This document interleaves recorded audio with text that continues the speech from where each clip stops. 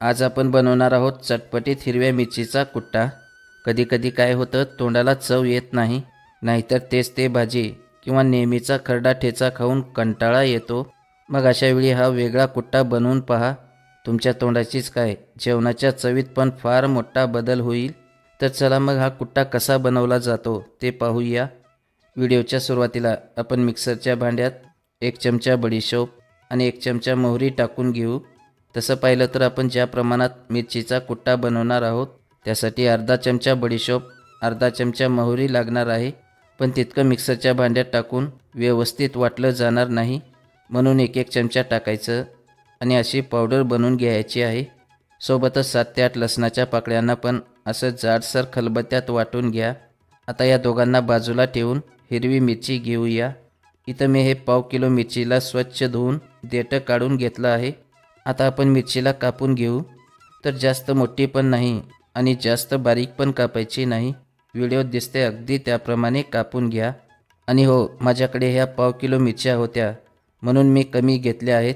हवं तर तुम्ही किलोभर मिरचीचा कुट्टा बनवून दहा ते पंधरा दिवस आरामात स्टोअर करू शकता.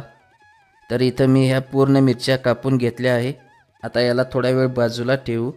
आणि गॅसवर अशी लोखंडाची कढई किंवा तुमच्याकडे असेल तो पॅन ठेवून त्यात एक चमचा तेल टाका आणि तेल चांगलं गरम झालं की त्यात एक लहान चमचा मोहरी टाकून चांगलं तडतडू द्यायचं.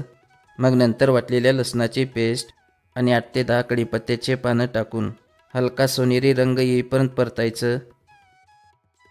आता यात चिरलेल्या मिरच्या टाकून घेऊ आणि नंतर सुरुवातीला मध्यम आचेवर जवळपास दीड ते दोन मिनिट छान परतून घ्यायचं. इथं लक्षात असू द्या की मिरची टाकल्यानंतर इतर काहीही न टाकता परतून घ्यायचं आहे.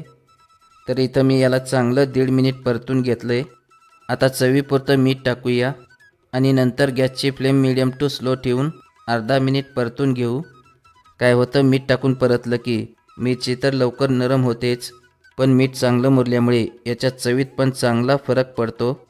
आता याला झाकून मिनिटभर सोडून देऊ. तर इथं आपली मिरची जवळपास साठ ते सत्तर टक्के सॉफ्ट झाली आहे. आता आपण यात बारीक चिरलेला एक टमाटर टाकून थोडंसं परतून घेऊ. आणि परतल्यानंतर टमाटर सॉफ्ट होण्यासाठी परत अर्धा मिनिट झाकून ठेवू. आता झाकण काढूया आणि थोडा वेळ चमचा चालवून घेऊ. तसं आपली मिरची पूर्णपणे नरम झाली आहे आणि सहज मॅश होऊ शकते पण आपल्याला काही मॅश किंवा ठेचून घ्यायचं नाही. आता यात एक चमचा मोहरी बडीशोपची पावडर टाकून अर्धा लिंबाचा रस टाकू. जर तुम्हाला थोडंसं झणझणीत बनवायचं असेल तर ह्या स्टेजला थोडीशी हिरवी कोथिंबीर टाकून दहा सेकंद परता आणि काढून घ्या. नाहीतर सपक हवं असेल तर चाळीस ते पन्नास सेकंद परतून शेवटी कोथिंबीर टाका. आणि असेल तर ओल्या खोबऱ्याचा थोडासा किस टाकून थोडंसं परता. पण अजिबात शेंगदाण्याचा कूट वापरू नका कारण की याची मूळ चव निघून जाते. तर आपला मिरचीचा कुट्टा बनवून तयार आहे. याच्यासोबत ना तूप ना दही कशाचीच गरज पडणार नाही. तुम्ही याला तोंडी लावून खा किंवा भाकरी चपातीसोबत नाहीतर डब्याला पण देऊ शकता.